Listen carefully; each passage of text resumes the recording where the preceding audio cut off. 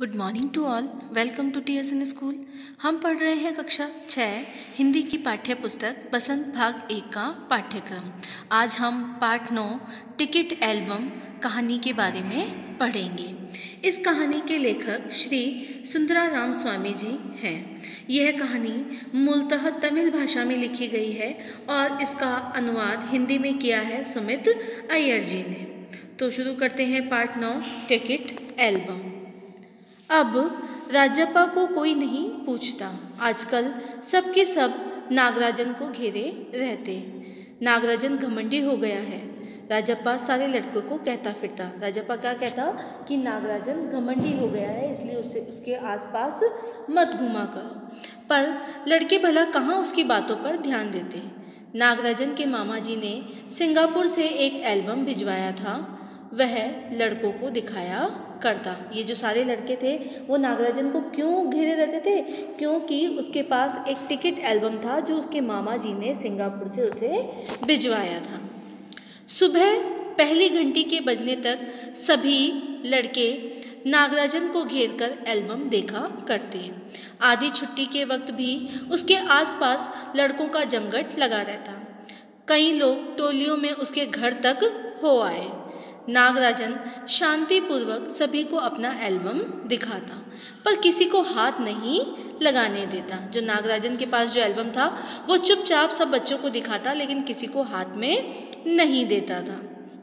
Album को गोद में रख लेता और एक एक पन्ना पलटता, लड़के सब देखकर खुश होते। और तो और। कक्षा की लड़कियाँ भी उस एल्बम को देखने के लिए उत्सुक थी। उत्सुक मतलब बहुत बेचैन थी। उनको बहुत अत्यधिक इच्छा होती थी उस एल्बम को देखने की। पार्वती लड़कियों की अगवा बनी और एल्बम मांगने आई। पार्वती जो है वो लड़कियों की कौन बनी थी? लीडर बन गई। अगवा मतलब सबसे आगे रहने वाली और एल्बम मांगने आई। लड़कियों में वही तेज तर्रार मानी जाती थी। नागराजन ने कवर चढ़ाकर एल्बम उसे दिया। शाम तक लड़कियाँ एल्बम देखती रही, फिर उसे वापस कर दिया। अब राजप्पा के एल्बम को कोई पूछने वाला नहीं था। ये राजप्पा वही है जो नागराजन को घमंडी कह रहा था। वाकई उसकी शान अब घट गई है। राजप्पा के एल्बम की लड़कों में काफ़ी तारीफ़ रही थी। मधुमक्खी की तरह उसने एक एक करके टिकट जमा किए थे। ये जो एल्बम है, ये किसका है? टिकटों का एल्बम है। तो जो राजप्पा है, उसने जैसे मधुमक्खी फूलों का बूंद बूंद रस लाकर शहद इकट्ठा करती है, उसी प्रकार जो राजप्पा है, उसने भी एक एक टिकट जमा करके एल्बम तैयार किया था। उसे तो बस एक ही धुन सवार थी। सुबह आठ बजे वह घर से निकल पड़ता। टिकट जमा करने वाले सारे लड़कों के चक्कर लगाता, दो ऑस्ट्रेलिया के टिकटों के बदले एक फिनलैंड का टिकट लेता, दो पाकिस्तान के बदले एक रूस का। बस शाम जैसे घर लौटता, बस्ता कोने में पटक कर अम्मा से चबेना लेकर निकल की जेब में भर लेता और खड़े खड़े कॉफ़ी पीकर निकल जाता। जो रजप्पा है, उसके बारे में बता रहे हैं कि वो स्कूल से घर लौटकर सिर्फ़ टिकटों के बारे में ही सोचता रहता कि कौन सा टिकट मुझे किससे लेना है और खड़े खड़े ही कॉफ़ी पीकर घर से निकल जाता। चार मील दूल अपने दोस्त के घर से कनाडा का टिकट लेने पगडंडियों में होकर भागता। स्कूल भर में उसका एल्बम सबसे बड़ा था। सरपंच के लड़के ने उसके एल्बम को पच्चीस रुपये में खरीदना चाहा, पर राजप्पा नहीं माना। जो नागराजन से पहले जो एल्बम था, वो राजप्पा का था, वो सबसे बड़ा एल्बम था, और वहाँ के किसी सरपंच के लड़के ने उससे वह एल्बम खरीदना भी चाहा, लेकिन वह नहीं माना। क्यों? क्योंकि वह उसकी बहुत कड़ी मेहनत थी। घमंडी कहीं का राजप्पा बड़बड़ाया था। फिर उसने तीखा जवाब दिया था, तुम्हारे घर में जो प्यारी बच्ची है ना, उसे दे दो, ना तीस रुपये में। सारे लड़के ठहाके मारकर हंस पड़े। अब जो राजप्पा है, वो कह रहा है कि, जिस प्रकार तुम्हारे घर में छोटी बच्ची है, अगर तुम मुझे तीस रुपये में दे दोगे तो मैं भी तुम्हें मेरा एल्बम दे दूँगा। इस पर जो आसपास के लड़के थे, वो हंसकर, ठहाके मारकर हंसने लगे। पर अब कोई उसके एल्बम की बात तक नहीं करता। और तो और, सब उसके एल्बम की तुलना नागराजन के एल्बम से करने लगे हैं। सब कहते हैं, राजप्पा का एल्बम फिसड्डी है। फिसड्डी मतलब कमज़ोर है नागराजन के एल्बम की तुलना में। पर राजप्पा ने नागराजन के एल्बम को देखने की इच्छा कभी प्रकट नहीं की। लेकिन जब दूसरे लड़के उसे देख रहे होते तो वह नीची आँखों से देख लेता। सचमुच, नागराजन का एल्बम बेहद प्यारा था। पर राजप्पा के पास जितने टिकट थे, उतने नागराजन के एल्बम में नहीं थे। मतलब जो राजप्पा ने तो अपनी मेहनत से वो एल्बम बनाया था, और जो नागराजन है, उसका एल्बम किसने भेजा था? उसके मामा ने सिंगापुर से भेजा। तो जो राजप्पा है, वो तो उसकी मेहनत मेहनत की मेहनत का किया हुआ काम है तो उसे वो प्यारा था। लेकिन जो किसी चीज़ को बनाने में हम अगर बहुत सारी वस्तुओं का इस्तेमाल करते हैं, उसे अट्रैक्टिव बनाते हैं, उसे आकर्षित बनाते हैं तो चाहे कम चीज़ हो तो भी वो बहुत ज़्यादा सुंदर लगती है। पर खुद का खुद उसका एल्बम ही कितना प्यारा था, उसे छू लेना ही कोई बड़ी बात थी। इस तरह का एल्बम यहाँ थोड़ी मिलेगा। एल्बम के पहले पृष्ठ पर मोती जैसे अक्षरों में उसके मामा ने लिख भेजा था, ए एम नागराजन। जो नागराजन का एल्बम था, उस पर उसके पहले पृष्ठ पर ही बहुत अच्छे से सजावट की गई थी और उस पर ए एम नागराजन उसका नाम लिखा हुआ था।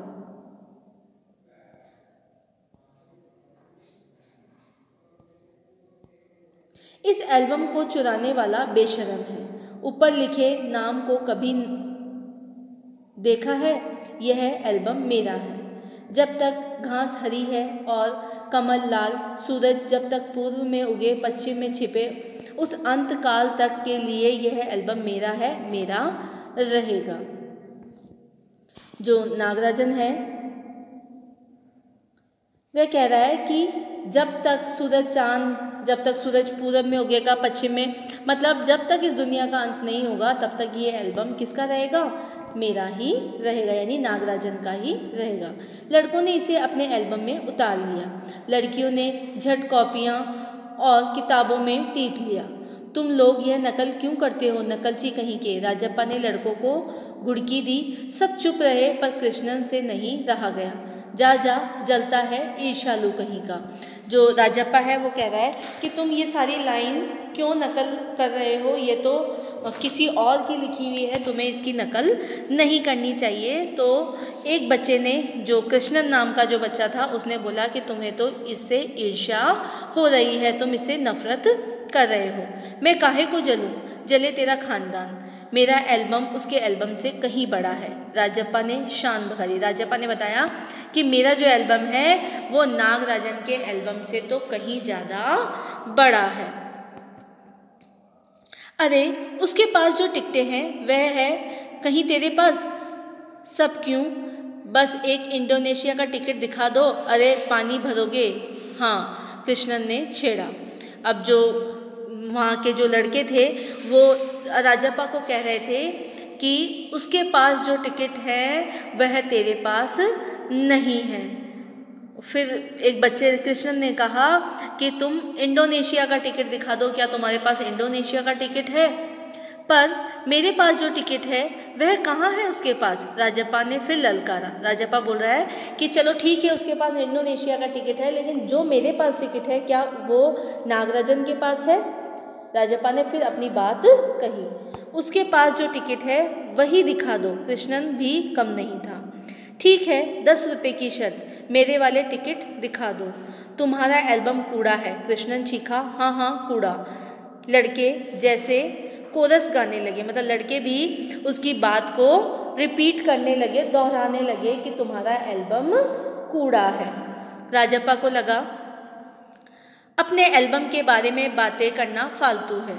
उसने कितनी मेहनत और लगन से टिकट बटोरे हैं। सिंगापुर से आए इस एक पार्सल ने नागराजन को एक ही दिन में मशहूर कर दिया, पर दोनों में कितना अंतर है? ये लड़के क्या समझेंगे? अब राजप्पा अपने मन में ही सोच रहा है कि इनसे मेरे एल्बम की बातें करना फालतू है, क्योंकि ये लोग नहीं समझ पाएँगे। इनको जो नई चीज़ दिख रही है, वही बहुत अच्छी लग रही है। लेकिन मैंने किस तरह से एक एक दिन में ये चीज़ें बटोर बटोर कर अपना एल्बम तैयार किया है, वो ये लोग नहीं समझ पाएँगे। इनके पास तो क्या है?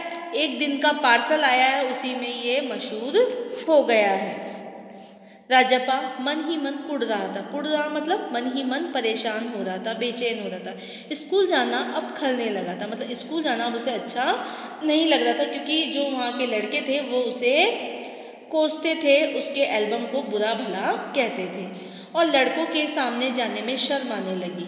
आमतौर पर शनिवार और रविवार को टिकट की खोज में लगा रहता, परंतु अब घर गुस्सा हो गया है।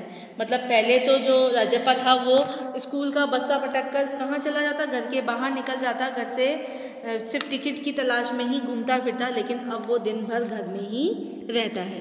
दिन में कई बार एल्बम को पलटता रहता, रात को लेट जाता, सहसा जाने क्या सोचकर उठता? अचानक ही उसे कुछ सोच आता और वह उठ जाता।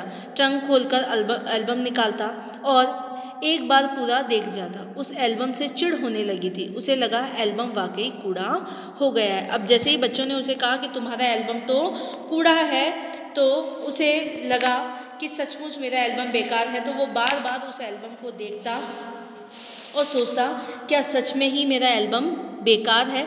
तो उसे अपने एल्बम से चिड़ होने लगी थी। उस दिन शाम उसने जैसे तय कर लिया वह नागराजन के घर गया। अब कोई कितना अपमान सहे। नागराजन के हाथ अचानक एक एल्बम लगा। बस यही ना वह, क्या जाने टिकट कैसे जमा किए जाते हैं? एक एक टिकट की क्या कीमत होती है? वह भला क्या समझे? मतलब उसको तो पूरा रेडी मतलब तैयार होकर मिला था वो एल्बम लेकिन जो राजप्पा है, उसे मालूम है कि टिकट की क्या कीमत होती। है आप भी अगर कोई प्रोजेक्ट बनाते हो, कोई असाइनमेंट बनाते हो तो आप अपनी अगर मेहनत से कोई पिक्चर ड्रॉ करते हो, कोई लाइन लिखते हो तो आप में उसकी मेहनत झलकती है, आपको लगता है कि मैंने अपनी मेहनत से, और कोई बच्चा अगर कंप्यूटर से प्रिंट आउट निकाल कर प्रोजेक्ट तैयार कर ले तो उसमें उसकी मेहनत नहीं है। लेकिन कंप्यूटर से पिक्चर निकलने पे वो और सुंदर दिखाई देता है। लेकिन जो बच्चा अपनी मेहनत से बनाता है कुछ चीज़ तो उसे उस पर गर्व होता है।